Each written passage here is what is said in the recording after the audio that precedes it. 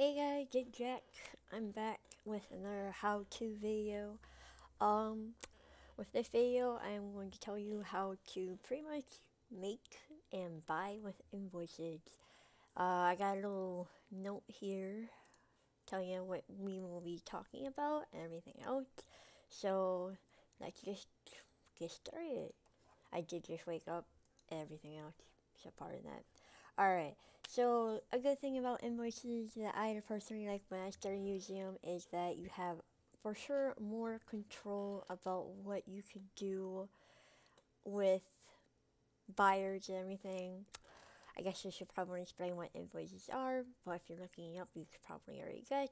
Invoices are really just a receipt, I guess. It's really something you fill out to give, hey, you owe me this, pay me and that's pretty much what it. And you pay up the person. Nice thing about invoices is that you don't need a PayPal to a PayPal account to pay for them. You just need your card. You can pay pay with it with PayPal, but it isn't a need. Sorry, my chair is squeaky. Um, you can just use a card, and that's totally fine too. Um, the thing that I really like about them is, like I was saying, I have way more control.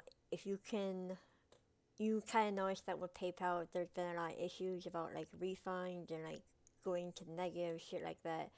Um, this way, it keeps you, to me, safe. It's pretty much, you know, you're in control, you're not putting down stuff, and I'll show you all good things that I have learned so far with invoices. When I first started with them, I had no idea that they were through PayPal. I thought they were through like a whole nother account, a whole nother system that I had to fill out and everything else. And I could find no help on how to do an invoice.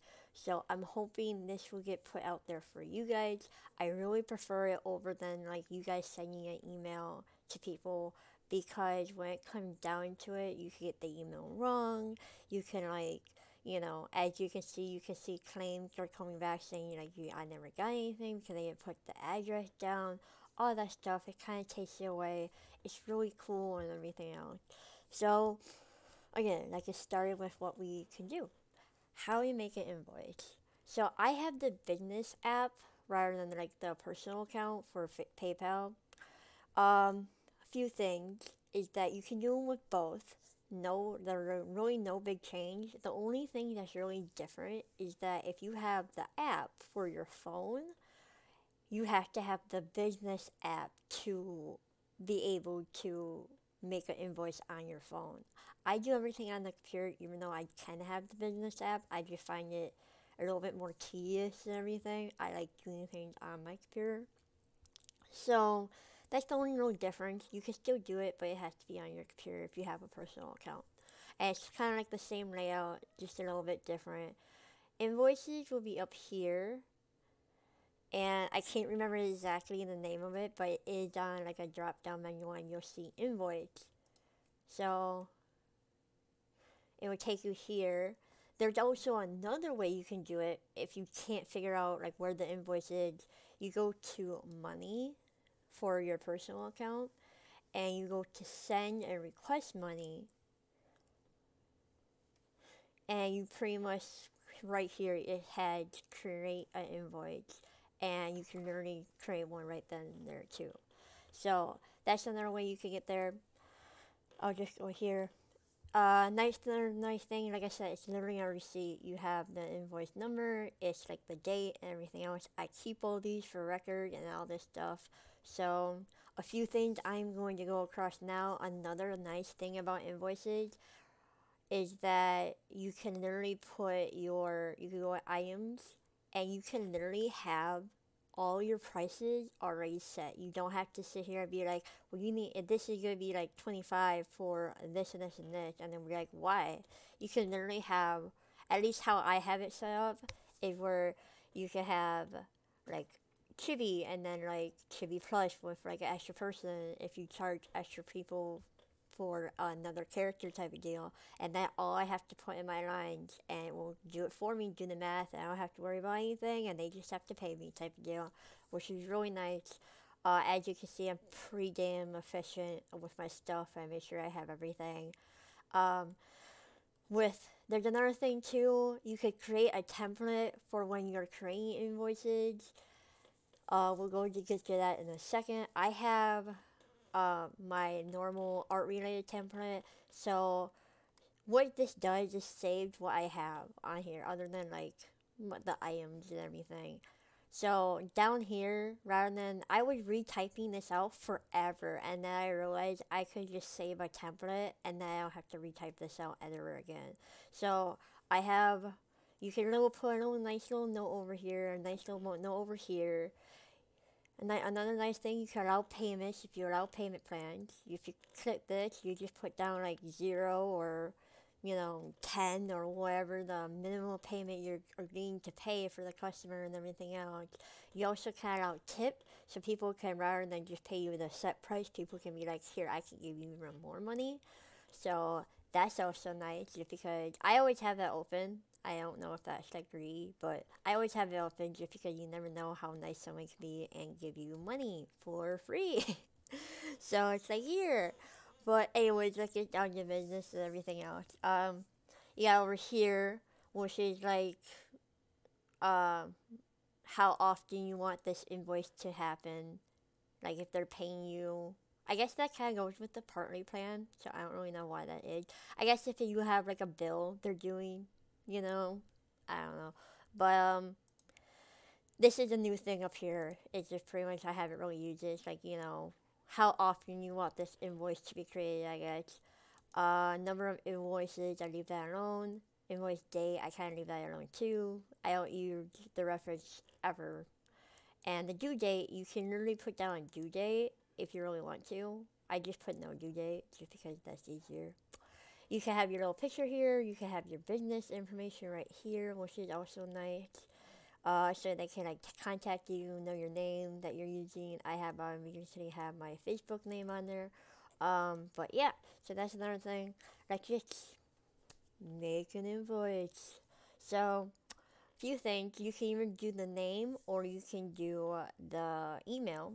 If you do the email, it will literally send it to their email. So that's kind of nice.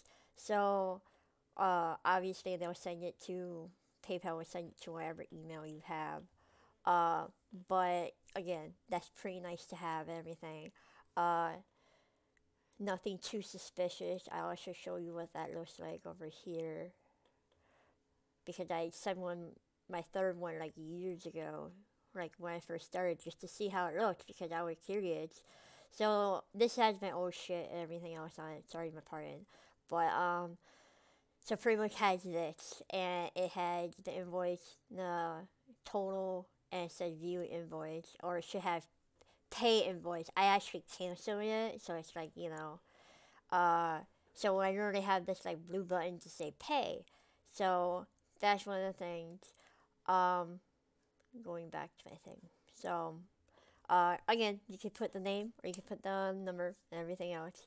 So, uh, you can even put, you can even add customers. I never do, just because, you know, that's like, then I like, if you click this, then I kind of need the, like, the name and, like, like, I guess I don't need the phone number, but it's like, you know, I kind of don't need, it's like one of the things I don't really need. Like, I'm okay with typing out the name. So I'm going to make myself an invoice. I'm just going to put Jack. And I'm going to uh, do it that way. You can also put down multiple customers, so if they're like, you know, have three friends that are paying for it, you don't have to put down one name. You can put down all three of their names, so you can remember be like, hey, you're three the one who paying for it, rather than like, oh, well, he said he would pay for it. Ooh. But, uh, this is also like where I like to point out is that it says ship to add. If you don't put anything there, there's no address to ship to. You'll have to worry about the buyer saying, oh, well, I put down no address and now you have my address type of deal, blah, blah, blah. This way, you'll have to worry about, again, being more in control with what you're doing. Um, you go down here, uh, I'll, let's say I want, let's be really costly. I want a rush sheet with extra details. That's not what I want. I want uh, a rough sheet and then I want like add another item. You can do like I also want full body. That's like the full body plus, but I mean, you get you gotta kind of get my point, you know. And then so uh, you can add text if you want to. I never do. Uh, I just say no text just because you know, like that's probably not fair. but uh, so you come down here and you can do discount if you guys are doing discounts and everything. You can do it like with money. You can do like a shipping fee if you're shipping sh- stuff out. But come down here with your total and everything. Um, I am pretty much once you get some uh I'm debating if I should save this or not because I don't know if I really want to cancel it. But um once you get your uh things all filled out and everything else that you're satisfied, you're like, okay, I'm done. Uh, you can also add a little memo. You can also add to chat tash files and everything. I never do this, but you know, you're like, okay, I got everything filled out where I want to. I got the name, got everything, whatever, blah blah. Um, you pretty much you can either say send, it says send vert uh, with PayPal or send or link, share a link to myself. I always do share a link to myself, and this is another thing about the app that you cannot do is that it tells you with the business app they literally tell you you have to do the email and so as you guys already know I don't like doing the email just because stuff gets sent wrong and you either then you're like, shoot, everything else maybe went to wrong email, blah, blah, blah, I gotta make a new one, all this other stuff. So I just feel like, you know, if I do it this way, I at least have it in more in control of what I'm doing and know that it's right. So you can share a link with yourself and that will close it. You're like, okay, copy. So I have now have that invoice all ready to go and everything else. Um, as you guys see, I started trying to make a video before and it had zero dollars, so I was like, shoot, okay. but, um, alright, so let's say I'm going to go to, um, let's say you got the picture done or you got the person shift and everything else, it's all good to go, and you got all completed and to pay for it, whatever. So what you want to do is you want to go to activity. And this is another good tip I found out myself is that okay so actually I can do this right here because I've purposefully left this open. So you have this one that I have is I did add on for her. So it says print out shipping label but has a drop down the menu mark as shipped so I am going to click on that and it says tracking information not required. You click that and mark shipped. So it's pretty much telling you, now watch what happens. Go back to my stuff. Now it's saying that that is completely shipped, it's done, and everything else. It's telling Facebook that she had gotten her stuff and everything else and I did everything I could and whatever on my part. And now I can just refund if I really want to and everything else. So uh that's another thing. So I always try to remember to do that earlier than like later earlier than like sooner type of deal or you know yeah the saying goes um just because the person, if they have like a PayPal and everything, it would link up to that and it would tell you, like, it would tell them, like, this person, like, completed the invoice and then sometimes they'll get confused. So I always try to do that, like, every time I complete an order and everything, then it does a backtrack on me. So, alright. So, let's see. I gotta check my notes. I'm so efficient. Yeah. We'll go here how to make items, once for sure done, what next. Okay, so yeah, I got everything I got good here for and making invoices, everything else. It's really that simple. And if you have a business one, it will literally tell you how many invoices are unpaid for, and you can click here, and it will pretty much tell you which ones are unpaid for.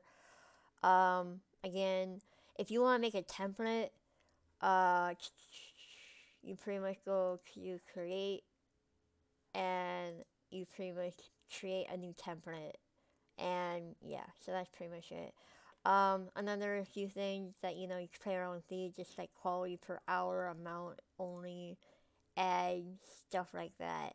So then you can like you know do all that different money issues if you want to do that. So that's always kind of nice. Um, actually, because I don't really do this, I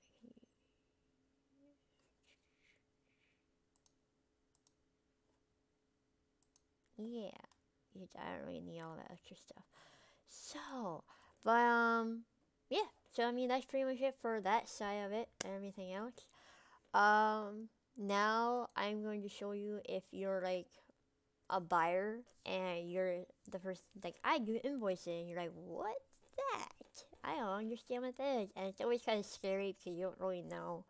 So, as a buyer now, we're flipping to that side you are probably going to receive either an email, like I mentioned before, or a link. And because I copied that link, I'm not going to pay for this, just because I'm going to cancel it after this video. But, uh, pretty much, so you have something like this. And of course, with uh, apps, it's probably going to look different. So, alright. So it's pretty much telling you to pay, and to add a tip. So you could like add like a two dollar tip if you want to, or you know, and have it be like you know. I usually just put in the amount. So if I want to add a tip, let's say I want to give myself forty five dollars, and or you know what actually. Yeah, you want to put forty five dollars, and actually no. so you add a tip. So let's say you want to give a five dollar tip. And it says now this has had changed from the previous 38 to $43 so you pretty much take it and you go pay. You click on it. Hopefully it doesn't go through. Because otherwise I'm gonna be sad. Uh, it's pretty much telling me I have to log in and everything else. So you log in. I already have PayPal selected so it just kind of probably had telling me it's very it's confused on everything uh, because it's the same person, everything. Yeah. So it's like payment to just pretty much to myself. But anyways, so you will get this thing where you can log in and you have that choice if you have a PayPal account. It will be like you want to do it through your PayPal money, you want to do it through a card, everything else. If you have experience using your PayPal and buy things else like elsewhere and everything, that's pretty much what it looks like. Um, if you do not have a PayPal, it should just ask you for your card information. Like you, obviously, it has like here pay for debit or credit card, and it would just ask you to pretty much fill out like anything else, and you know, your contact information if you want to do that. Um, all that great jazz, and you're like, yes, I would like a PayPal account. No, I would like, no, I would not, and you pretty much pay now. So that's pretty much how it goes for the other side of it. Um, I know that was kind of fast, but it's really super, like, step by step forward and everything. I'm just trying to assure you guys that, you know, this is legit. It's not, uh, it's not a scam or anything. It's not to take your money or all this stuff. So, but, okay, so, here, okay, so, so that's kind of nice and everything, is that you just have to kind of like let your people know that, you know, this is legit and this is how you use things. And like I said, I really prefer you guys to use this rather than other things just because uh, I think it's more efficient. And as a artist or as a, a seller, I guess, it's just more control of where your money is going, how much they're paying, and everything else. Then you'll have this person saying, like, I'm only going to give you five, and that's all you're going to get. You can literally make an invoice and be like, this is what you owe, and everything else, and this is what we doing on. So that's really nice. Um, some of the things that you can come across that I have had issues with is that Chase, Chase Bank or whatever, is very picky about invoices, and I have seen that it doesn't really want to pay for them. I don't know if it was just that person, but um, I have my fiance's mom's account hooked up to my PayPal at the Chase Bank, and we're totally fine. So I don't really know if it's like if it was just that person. It pretty much told the person that when I send the invoice that this the bank won't let you have it. So I don't know if she was supposed to call and like, you know, verify that this is what I wanted or whatever.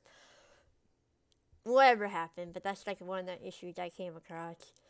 Um I mean not much is really I haven't really come across that issues. Like I said, I never got in trouble for like, you know, sending things getting sent back to me wanting a refund or whatever. They literally like, you know, all this stuff. So oh, another thing you should probably find, realize is that this does is the same as paying for goods for through pay, PayPal. So it does take that small fee out. So, uh, and the thing that kind of sucks too is that if you're going to do a partial payment with somebody, no matter how many times they pay, we'll always take out that little small fee. So that kind of sucks. So it's like, um, I have a person paying like $40 and she pays like 10 each month. Uh, it takes out a good 25 cents maybe per 10. So, I mean, it's not a huge deal, but I did uh, decide that if they're going to be like uh, over over a hundred dollars worth of stuff that and want to do a partial payment for it. Depending on how many payments, I may do a fee on top of that just so it covers that. I'm not losing like 25 cents per $10 pretty much. Uh, it really depends on how much you send and everything else and all this stuff. So that's like another thing you want, might want to think about. But again, it's really easy, it's really efficient, it's really not something you really need to worry about or anything. Um, but yeah, so hope you guys have a good day, and I'll talk to you later. Bye.